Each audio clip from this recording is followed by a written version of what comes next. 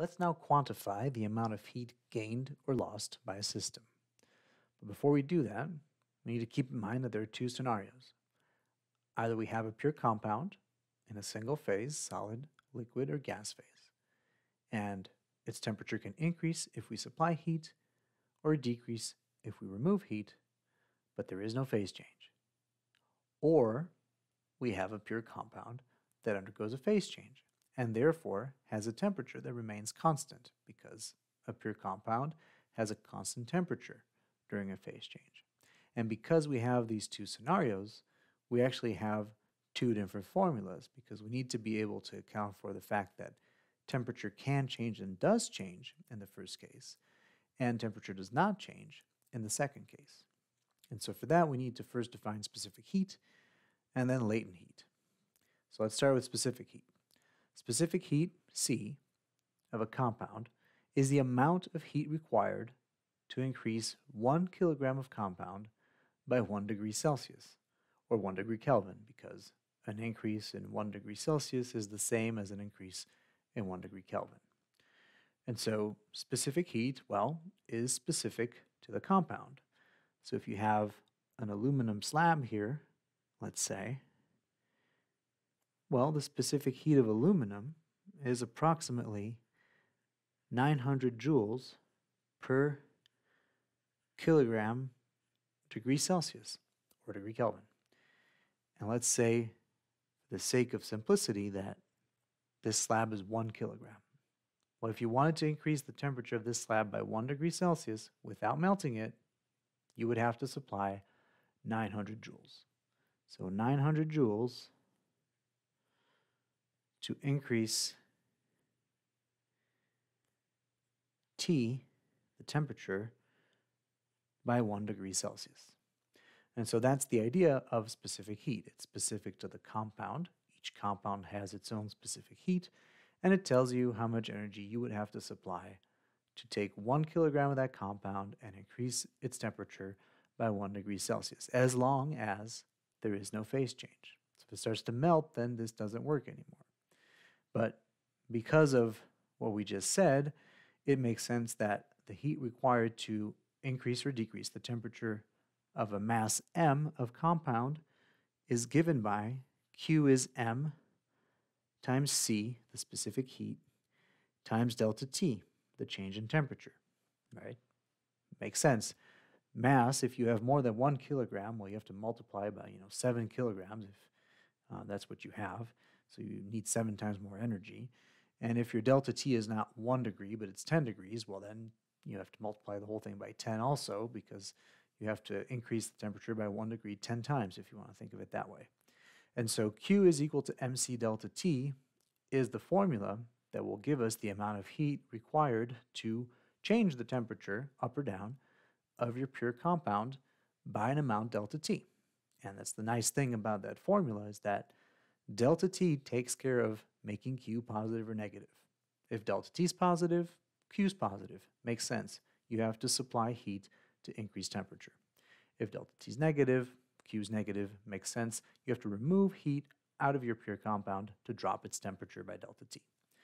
So, let's have a look at a quick example. We have 100 grams of ice at negative 15 degrees Celsius, and we would like to figure out the energy required to bring it to minus 5 degrees Celsius, given that the specific heat of ice is 2090 joules per kilogram Kelvin.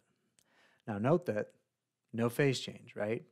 Ice at negative 15 is solid, and if it goes up to minus 5, still solid. It melts at zero. So there is no phase change to account for. We'll see how we do that in problems if we have to have multi-step reasoning. But in this case, we're good. So we can compute Q, the amount of heat required to increase the temperature of our block of ice by 10 degrees Celsius. That would just be mc delta T. So it's m ice, which is 100 grams. Now careful, we need kilograms, so that's 0.1, times specific heat, 2090, times T final, which is minus 5, minus, careful, double minus, because initial temperature is negative 15. And that's going to be equal to, well, actually 2,090 joules because 0.1 times 10 is 1. So that's the amount of heat that we have to supply. So it's pretty straightforward. There's really nothing hard mathematically about this formula, um, but it is a matter of applying it to a pure compound that does not undergo a phase change because as we're going to see, we have different formulas that we need to use for a phase change. I mean, look, let's just, you know, think this through. T initial is T final during a phase change because temperature doesn't change. So then you'd have Q equals zero. Well, that makes no sense. If you actually want to melt an ice cube into liquid water, you have to supply heat. It doesn't happen otherwise. You couldn't argue that it's MC delta T because if delta T is zero, Q is zero. And if Q is zero, the ice cube doesn't melt at all. So we need different formulas. And that's what we're going to go to next. So for that, we need to define the latent heat. Now, latent heat of a compound is the amount of heat required to take one kilogram of compound and take it from solid to liquid or from liquid to gas. Now, each different phase change has a different latent heat. So from liquid to solid, that's called the latent heat of fusion. From liquid to gas, it's called the latent heat of vaporization. It's the name of the transformation associated with latent heat. So if you take a compound from solid to liquid, you have to supply heat to melt it. And so Q for a melt is going to be, now we're going to need the latent heat of fusion, which we can look up or it's often given. And it's a positive amount of heat because it has to be supplied to the compound. And the latent heat is the amount of energy per kilogram of compound. And so we'd have to multiply this by the mass m of compound that we are trying to take from solid to liquid phase. So Q melt is going to be plus ml fusion, which is also a rather simple formula. Now, if you want to do the opposite, if you had the, the same compound, same amount as liquid, and you want to solidify it, so you want to freeze it, then you would have to remove an amount of heat Q freeze now, it turns out the amount of heat that you have to remove is exactly the opposite amount that you had to provide to melt it. So it's minus, because it's a loss to the system, m times L fusion. And so, well, first of all, it's remarkable that it's the same amount in magnitude one way or the other. But second of all, it means you have to pick the right formula. It's not like Q equals mc delta T.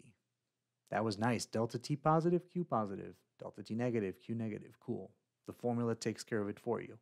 Here you have to make a conscious decision to either pick the formula with the plus or with the minus, but it matters. And so that's why you need to know what's going on. Are you going from solid to liquid or from liquid to solid? Similarly, the same reasoning holds for liquid to gas or gas to liquid. So Q for liquid to gas then it's going to be Q vaporization is equal to plus, because you need to supply heat, m times the latent heat of vaporization. And so, actually, let's call this Q boil because that's what I called it in the notes. So if you boil off liquid water and create steam, so you go from liquid to gas phase. The amount of heat required to boil the water is mass times latent heat of vaporization. And of course, if you wanted to condense steam into liquid water, you would have to remove the same amount of heat in magnitude. Of course, you'd need a minus here because it would be a loss to your system. And so the same comment applies that yes, it is a simple formula, but it's on you to pick plus or minus in the case of a phase change. So those are the four formulas that you can encounter because we don't go from solid to gas directly and so forth. That's that's better dealt with in an actual thermal class versus uh, just a calorimetry class. Calorimetry, we tend to focus a lot on solids and liquids, a little bit of gas phase here and there, but carefully because there's stuff we don't know yet that we're going to learn about uh, in the chapter about the first law of thermodynamics. So let's apply this. Let's say that we have 200 grams of water. And it's condensing at 100 degrees Celsius. So, in other words, it's steam, but it's condensing. How much energy is going to be released? In other words, how much energy would you have to pull out of water as it condenses? Well,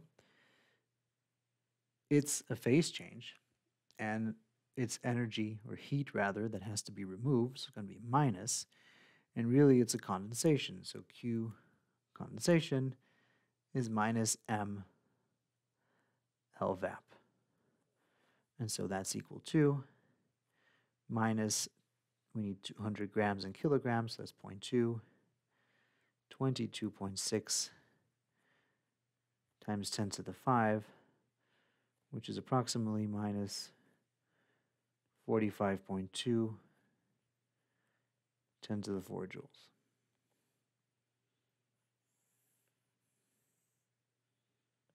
So not complicated calculation either. As long as you can identify your phase change, pick the right formula, it's pretty much plug and chug. Certainly it gets complicated if you want to do multiple transformations in a sequence, or if you wanted to mix two substances together, such as ice cubes and hot liquid water. What's the final temperature? And those problems we will do as practice problems, and we'll see how to take it step by step and to think about things in a simple way so that we don't get too confused about what's going on. Um, but that's not the goal here. The goal is to emphasize the fact that there are two possible scenarios either no phase change and temperature can go up or down, Q is mc delta T, or phase change, and then Q is plus or minus mass times latent heat, where you have to pick the proper latent heat given the phase change. Thanks for watching this video. We created Cogverse Academy to help you save time by focusing on what matters most when studying for exams. If you'd like to learn how Cogverse Academy can personally help you improve your grades, check us out at cogverseacademy.com and send us an email if you have any questions. We'd love to help you.